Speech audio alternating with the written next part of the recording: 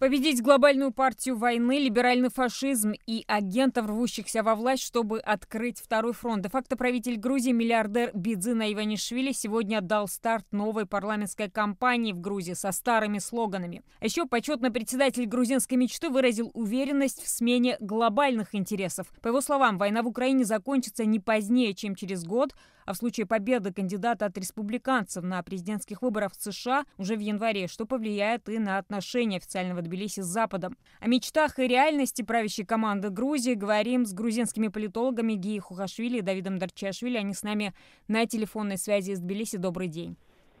Добрый день. Добрый день.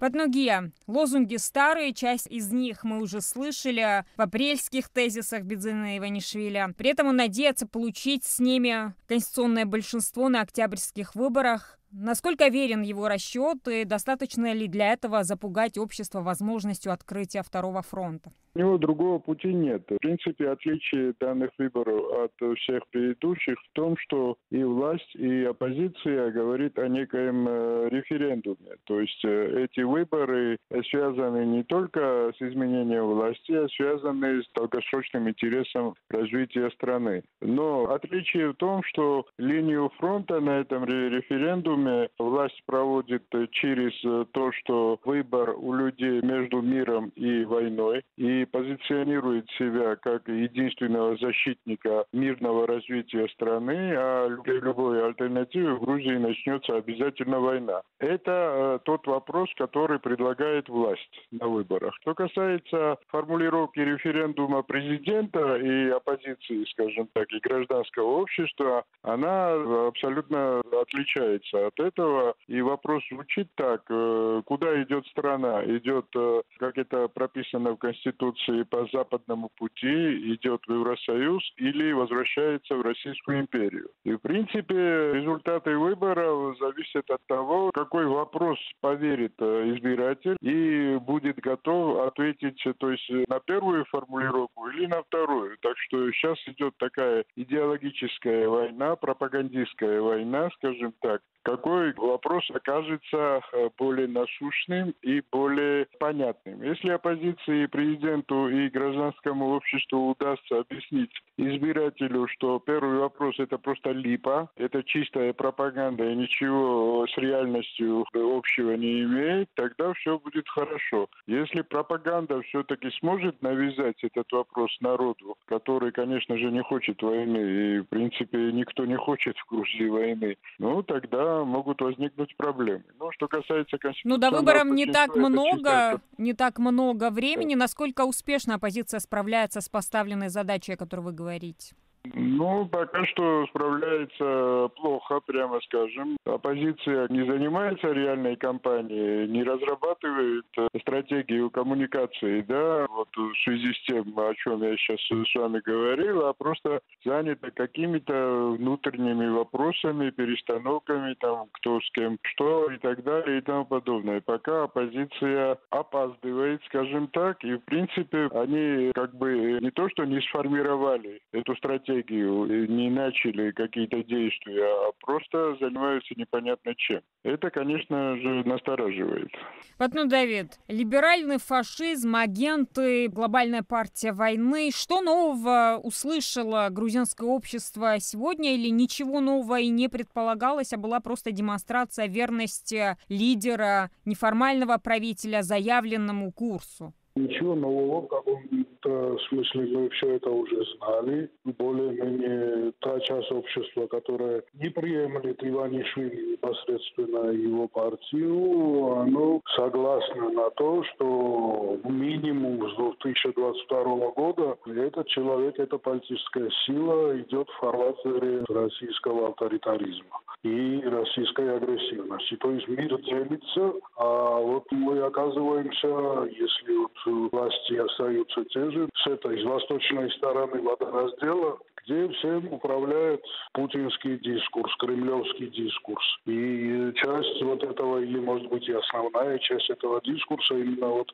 слова либеральный фашизм, который сам по себе оксиморон, потому что эти два идеологических понятия ну, никак не совместимы, они разные вещи как-то проецируют. С одной стороны, это толерантность и свобода личности, с другой стороны, это вот тоталитаризм, объединение, один фюрер, одна партия, одна нация. Вот это и есть фашизм. То есть эти две вещи идеологически несовместимы. Но как словосочетание, как возможность демонизировать оппонентов, почему бы и нет, и этим пользуются в России, это перешло и в Грузию тоже. Я согласен, вот, что я говорил, что оппозиция запаздывает, чем отвечать и как отвечать, чтобы это имел эффект. Пока что не совсем понятно избирателю. И, может быть, в данном случае стоило именно упирать бы на то, что если мы говорим о мире и войне или о войне и мире, то о какой войне и о каком мире должна идти речь. В первую очередь должна, наверное, главным словом, сочетанием э, у оппозиции должно быть безопасность не просто мир, каким бы он ни был, мир, я не знаю, раба с господином, или вот война всех против всех, а именно вот безопасность общественная, национальная, гражданская. И вот она единственная возможна именно вот в рамках демократического или, если хотите, либерального дискурса и с этими обществами. Иначе, Но президент тоже будет... говорила о референдуме. Она отметила, что это будет выбор между Западом и Россией. Россией. Иванишвили да, говорит ну, о референдуме под... между войной и миром. Да, под этим, под Западом и Россией должна подразумеваться именно вот какие-то ценности. То есть вот что такое Запад и что такое Россия. Вот об этом должен быть упор, мне кажется. В любом случае вот противостояние, оно и идеологическое. Оно, ну да, отчасти экономическое. Какие-то люди вот взвешивают. Есть и такие между избирателями, что вот взвешивают, откуда больше может и быстрее может идти какая-то экономическая помощь, исходят из этого. Ну, это тоже аргумент, это прагматика, но в целом, в стратегической перспективе, ну, как-то акцент должен делаться на ценностях, то есть какое общество мы, в конце концов, хотим для наших детей. Чтобы это какой-то новый феодализм возникал под идеологией типа а-ля Дугина. Или мы все-таки считаем, что права человека, как бы они ни нарушали, здесь, в том числе в демократических странах, они все-таки краеугольный принцип, на котором нужно равняться и вот идти в этом направлении.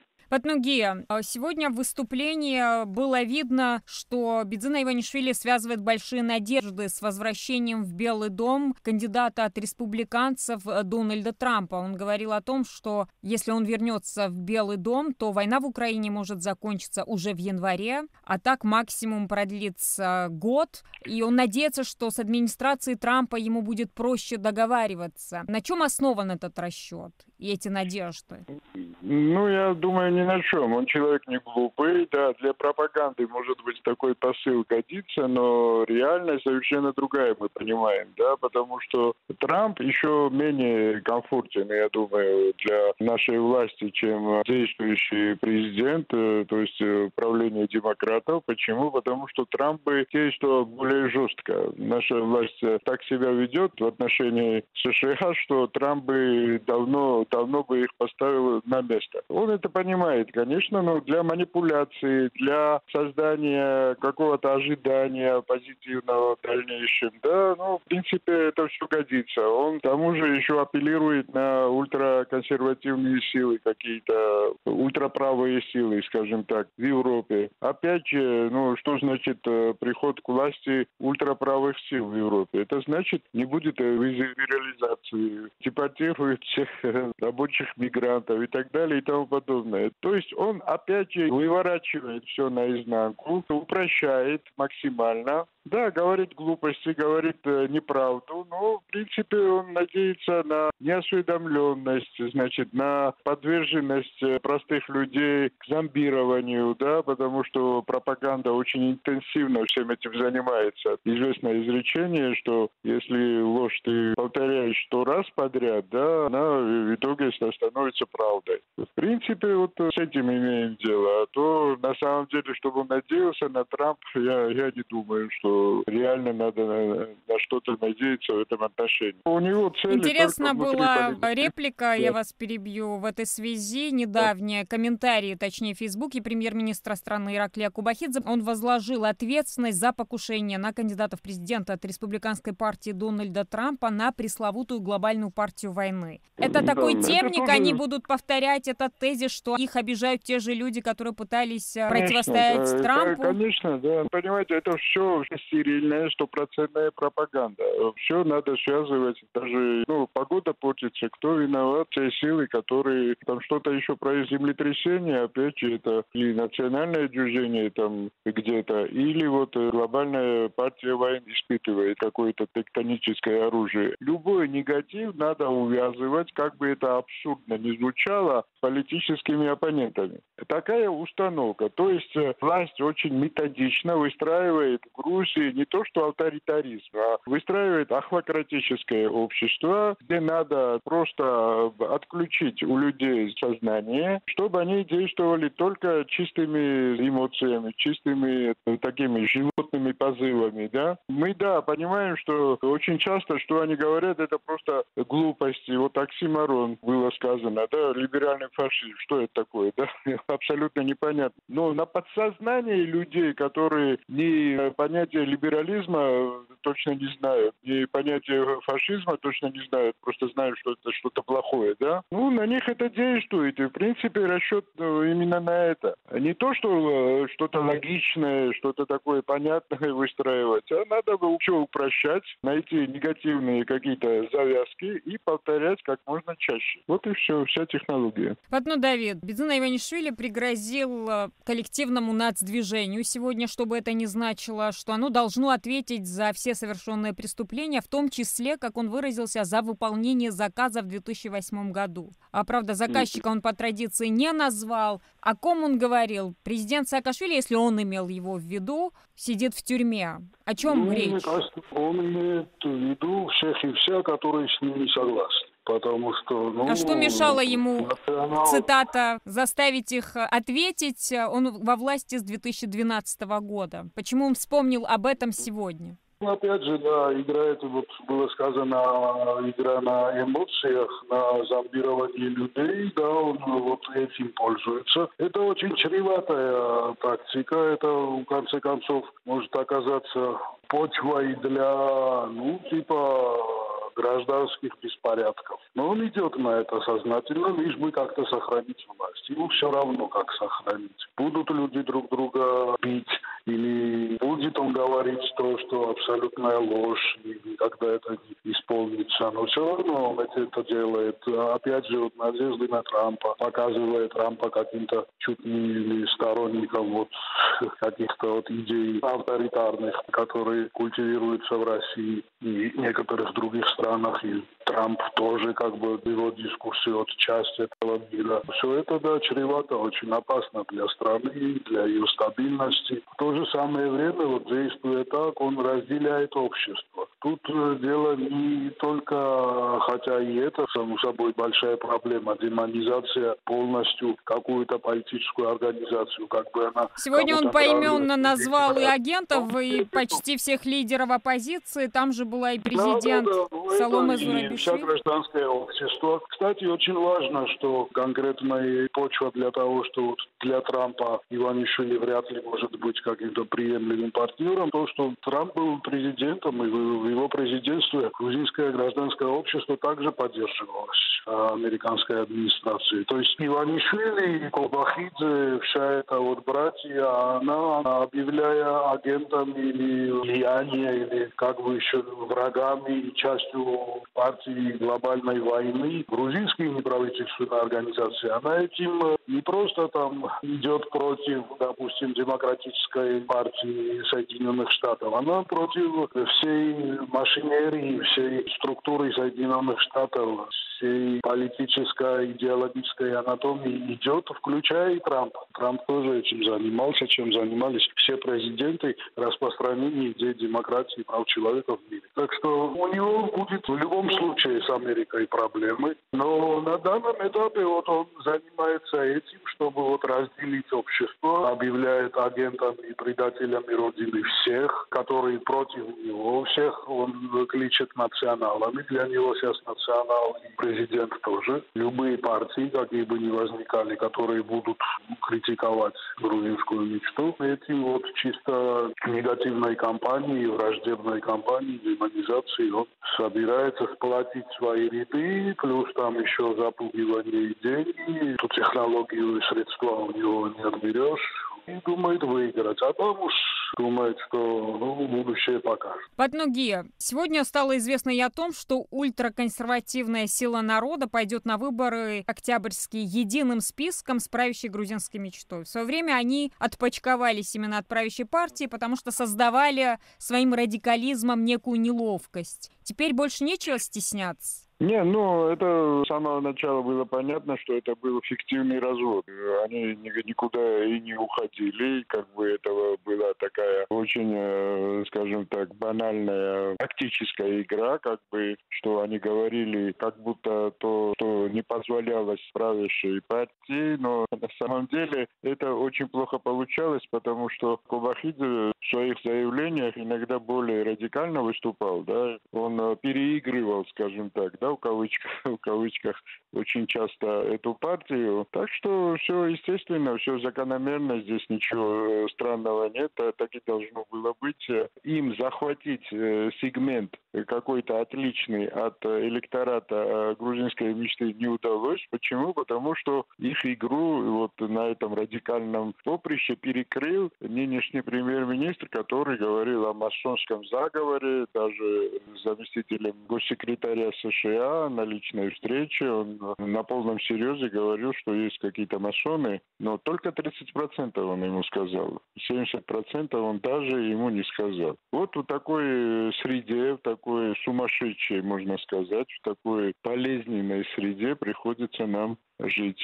Да еще температура поднялась, жарко очень. Политическая температура, когда поднимается, это играет ну, к сожалению, на кого? нет, пока нет. Пока, пока этого не видно, что политическая температура поднималась, потому что оппозиция пока что не может создать свой порядок, не может взять какую-то инициативу в руки. Да, они вот занимаются чем-то, какие-то коалиции создают друг другу. Что делается не так, Батнуги? Цепляются и что надо сделать? А вообще ничего не делать. Ну, дело в том, что ничего не делается. Ну, что надо делать? Надо идти в народ и объяснять народу, в чем основной вопрос референдума. Вот это надо сделать. А когда человек поверит, что и оппозиция, то есть человек должен поверить, избиратель, что оппозиция не хочет на самом деле никакой войны, должна появиться уверенность, и после этого все будет в порядке, потому что по всем исследованиям западный выбор – это выбор э, основного населения Грузии. А если вопрос э, референдума будет э, такой, что идем на Запад с оппозицией или идем в Российскую империю с грузинской мечтой, ясно, что результат выборов будет не в пользу власти. Но для того, чтобы к этой точке прийти, надо идти в народ.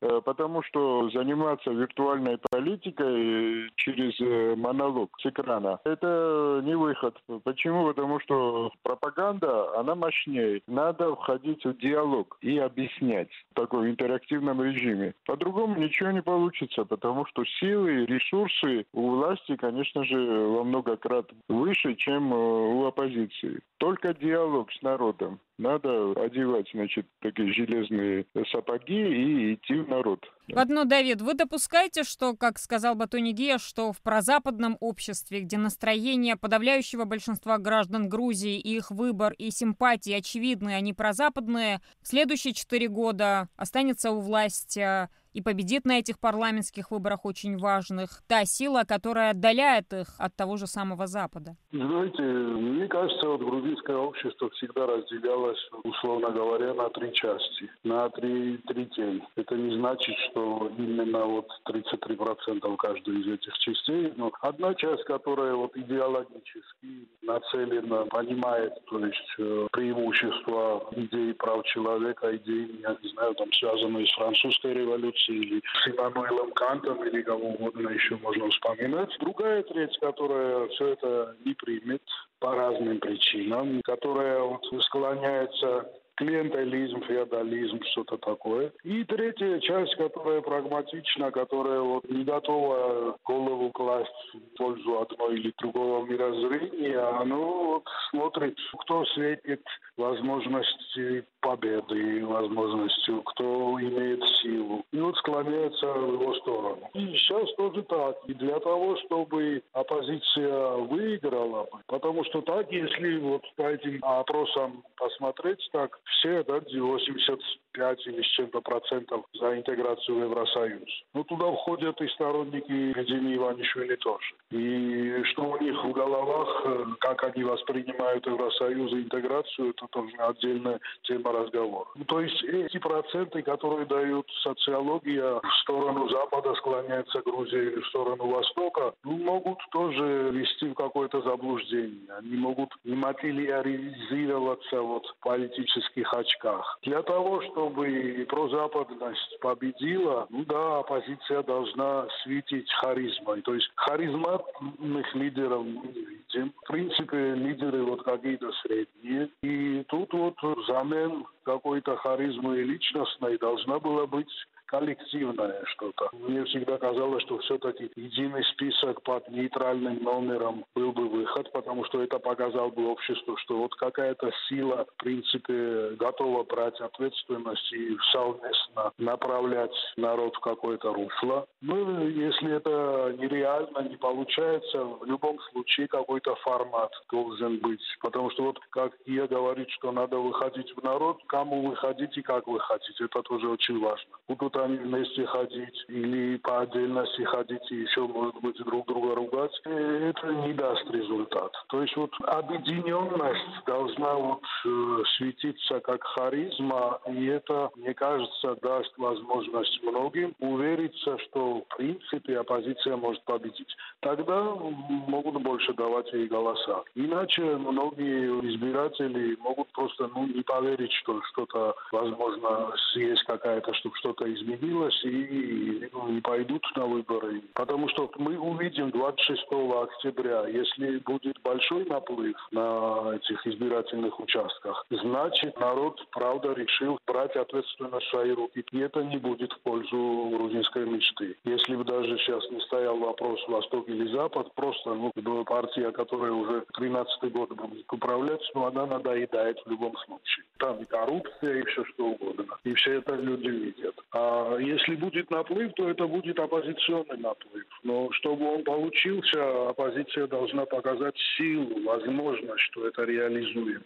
Батнугия, как долго, по-вашему, собирается оставаться у руля Бедзина Иванишвили? Абсолютная власть — это зависимость, без которой сложно дальше жить? Каковы его да, но, взгляды на политическую том, пенсию. Что... В каком случае он для себя ее допускает? Нет, нет, он, он этого просто не, не может допустить, не имеет э, данного комфорта. Почему? Потому что на сегодняшний день э, его единственная цель – это обеспечить э, свое благополучие и безопасность. Другого инструмента, чем владение властью, он для обеспечения вот этих ценностей, для него единственных практически, да, он не видит уже. Так что и план а чего боится, что посадят, как Михаила Саакашвили? Он, он боится, не, он боится очень многого, да, он боится Путина, он боится, значит, Америки, он боится Европы, он боится всех и вся, он боится народа грузинского, он боится, что очень много плохого он э, сделал и все это всплывет, то есть э, его жизнь сейчас на самом деле очень трагична. Э, Днем он, значит, живет тревогой, ночью кошмарами, так что если если кто-то ему завидует, я думаю, очень сильно ошибается. Он сейчас цепляется, он, он выживает просто. А для того, чтобы выжить,